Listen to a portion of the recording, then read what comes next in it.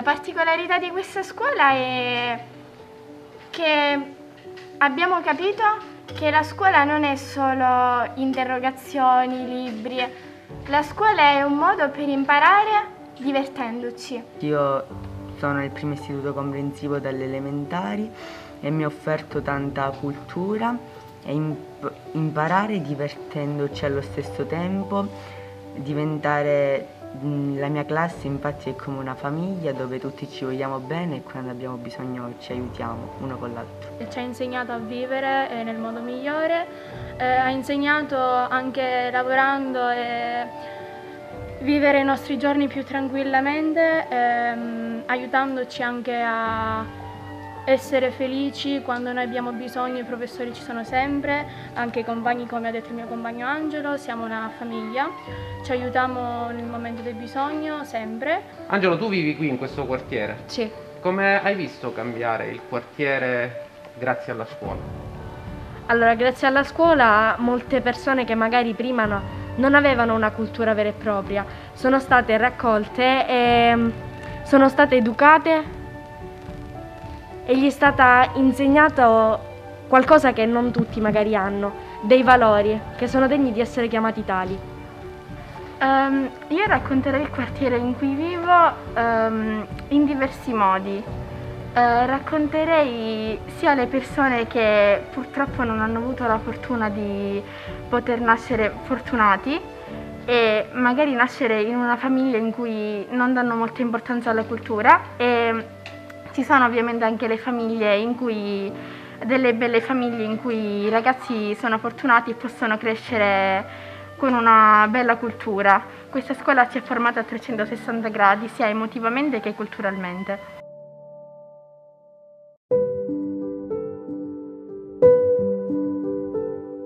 Matilde, Angelo, Carla, Gioele e Ludovica, volti puliti che raccontano il cambiamento di un quartiere difficile come Albani Roccella attraverso la scuola, l'insegnamento, le classi che sono diventate famiglia. Cultura è un termine ricorrente nei loro discorsi e certo, nessuno lo nega, è estremamente difficile parlare di cultura nelle periferie delle nostre città, perché prima di trasmettere il sapere occorre spogliarsi di ciò che si è, sporcarsi col fango della dura realtà che si ha di fronte e cercare di ripulire delicatamente i volti degli allievi, incolpevoli delle situazioni che si trovano a vivere. Insegnare in periferia significa rileggere la Montessori e comprenderla profondamente, per poi metterla da parte e correre tra le braccia di Pasolini e Don Milani. Non è facile insegnare nelle periferie perché occorre mettersi in discussione, sgretolarsi e nascere di nuovo, guardando in faccia le contraddizioni della società, mentre si cerca di dare una speranza a chi spesso non sa cosa sia prospettiva. La scuola di periferia è perciò prima di ogni cosa scommessa e ribellione, perché i diritti che non sono scontati vanno afferrati a qualunque prezzo. Lo scopriamo attraverso il racconto di Rosalba Marchigiana, dirigente scolastica dell'Istituto Comprensivo Don Bosco che abbraccia diversi plessi nei quartieri della periferia nord della città. Una una scommessa partita da insegnante proprio nell'istituto di Albani Roccella e che adesso sta diventando realtà. Io ho lavorato in questa scuola come docente tanti anni fa, prima di eh, svolgere la professione in altri istituti e in altri gradi di scuola, però quando sono andata via eh, da questo istituto come maestra, prima eh, ho detto a me stessa mi piacerebbe poter ritornare in questa scuola qualora dovessi un giorno diventare dirigente scolastico per ehm, garantire soprattutto stabilità. Mi dispiaceva ecco, che questo fosse un luogo di passaggio per i tanti dirigenti che si erano avvicendati e quindi come eh, succede sempre quando una nave non ha un nocchiero stabile rischia di andare facilmente alla deriva. Periferie e fallimento formativo hanno spesso conosciuto una lunga e complessa vita in comune che continua nei nostri giorni. È nelle periferie povere che da sempre si concentrano assenze, bocciature, abbandoni, mancati diplomi e la diminuzione delle attese che nella vita di ognuno questo produce. Un trend che qui ad Albani Roccella è stato invertito. Sposare un impegno così importante in una zona di periferia per scardinare stereotipi, per smontare pregiudizi, per dare fiducia ai ragazzi per ehm, costruire insieme a loro un progetto di scuola è stata una sfida. C'è questa mentalità, questo luogo comune che per esempio anche questo stesso plesso abbiamo faticato tanto a renderlo, noi lo abbiamo ereditato con, una, con due classi, una classe e mezza. Adesso in questo istituto ci sono più di 350 alunni con eh, 16 classi di, eh, tra elementare e media, più c'è la sezione primavera, l'infanzia, quindi l'abbiamo riempita totalmente e abbiamo ancora spazio per poter riempirlo. Lo so, il luogo comune porta a, eh, dire, a, a, far pensare alle persone che la, la scuola di periferia è una scuola eh, che ha problemi. Certo i problemi non mancano, ma credo che i problemi nelle scuole ci siano ovunque. Eh, però io invito le persone a venire a vedere quello che abbiamo noi realizzato qua e quello che è diventato questo quartiere anche per eh, merito della scuola. I primi passi della rivoluzione gentile di Albani Roccella nascono proprio dai più piccoli, i bimbi che adesso frequentano la sezione primavera, la prima in città, creata nel lontano 2014. È stata una sfida non indifferente credere nella possibilità in un quartiere periferico di mm, porre attenzione e accendere un faro sui servizi eh, relativi alla primissima infanzia. Sono servizi pubblici e assolutamente gratuiti che nella nostra città mancano. Ho intercettato un bisogno eh, perché non mi piaceva l'idea che si parlasse sempre delle città del nord, delle città metropolitane dove questi servizi esistono.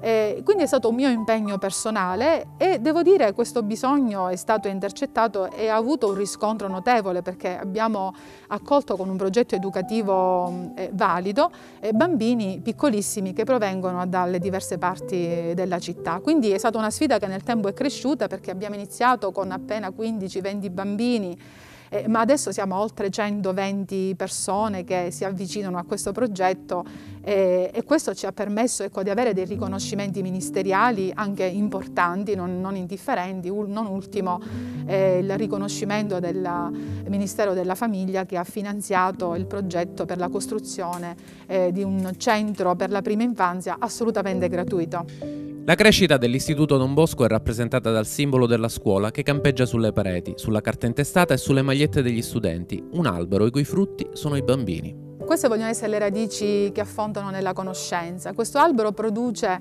bambini sereni, ma è un luogo accogliente dove poter eh, alimentare il seme della conoscenza che eh, ciò di cui tutti abbiamo, di, tutti abbiamo bisogno. Si è parlato in questo periodo, forse a sproposito di dati della dispersione scolastica qui in città, si è parlato di capitale della dispersione scolastica.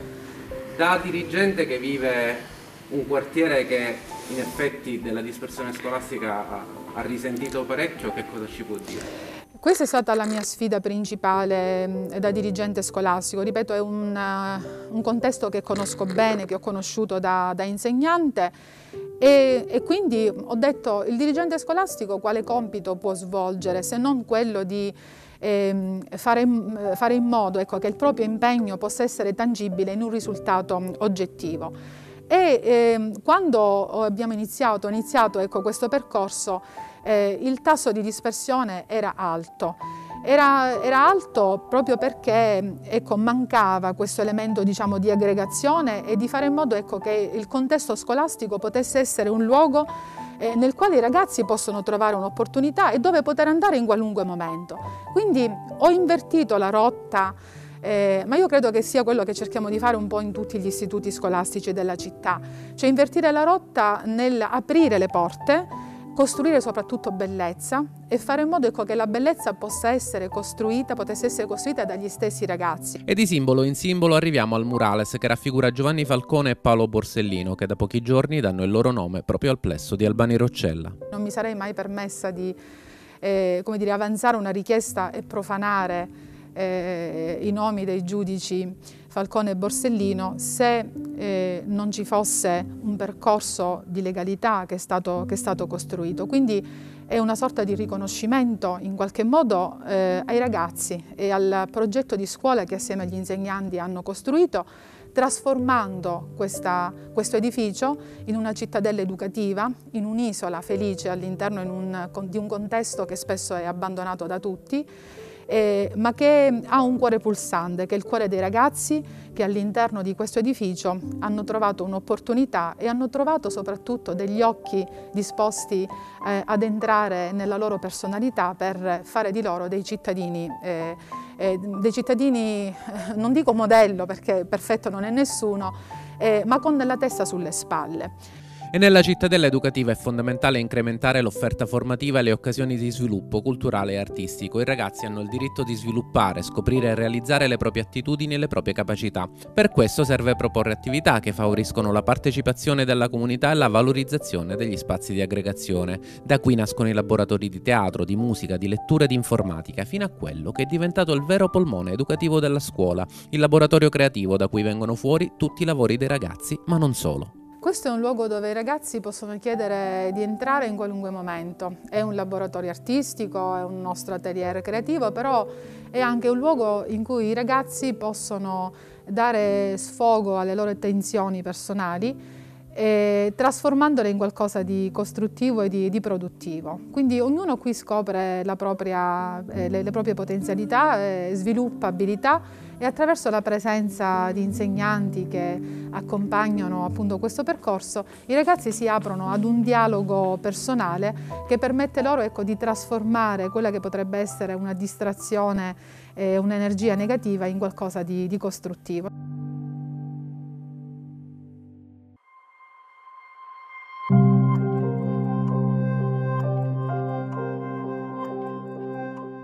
Negli anni la scuola ha però avuto i suoi problemi strutturali. Recentemente un'infiltrazione ha causato il cedimento di un controsoffitto che ha provocato l'inibizione di alcune classi. Questo è un mio grande dispiacere perché a fronte di tutto ciò che abbiamo costruito eh, e del valore che attribuisco alla scuola non riesco a capire come sia possibile che a fronte di richieste diciamo, reiterate eh, non ci sia un intervento immediato ed incisivo.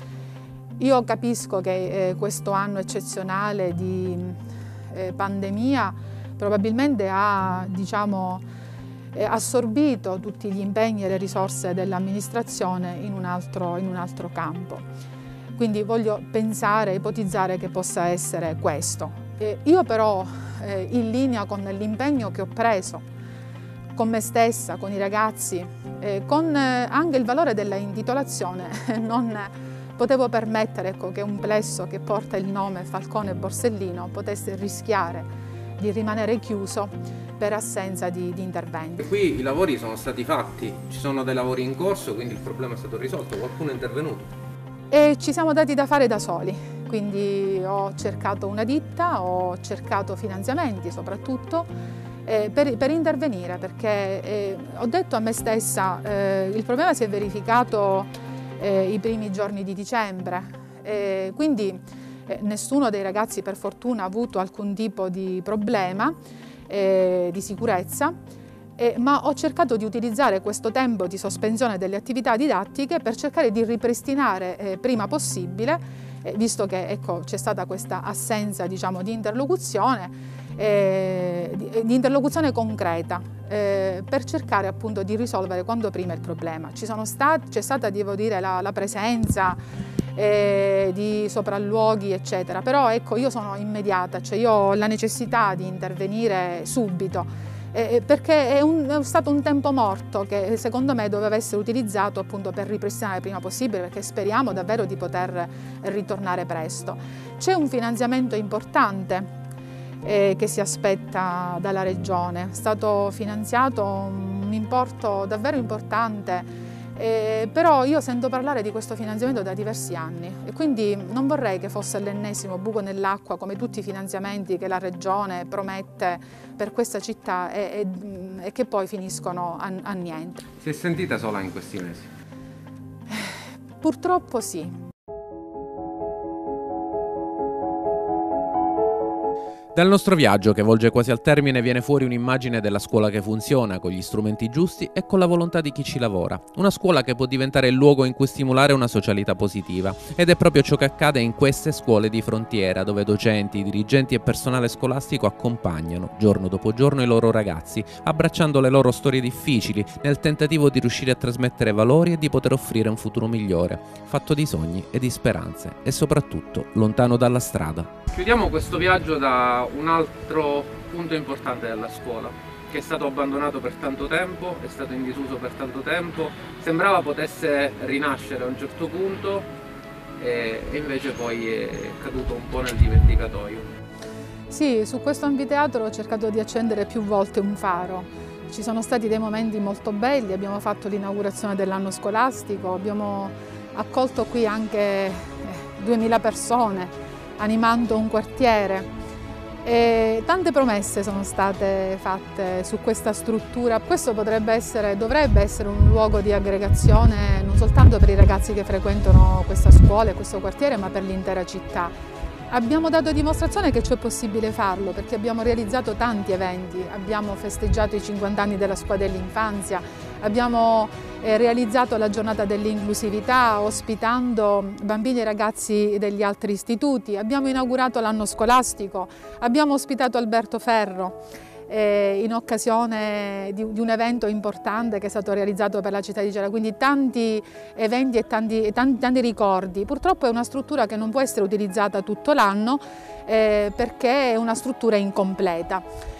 L'idea iniziale che avevamo lanciato diversi anni fa, eh, quando è iniziato questo percorso, era di sposare pienamente eh, un principio dell'architetto Renzo Piano, il rammendo delle periferie, fare in modo che ogni periferia possa essere eh, un centro bello, eh, che è in grado di sprigionare bellezza, un fiore dal quale partire, eh, per ehm, trasformare ogni angolo sperduto in un centro.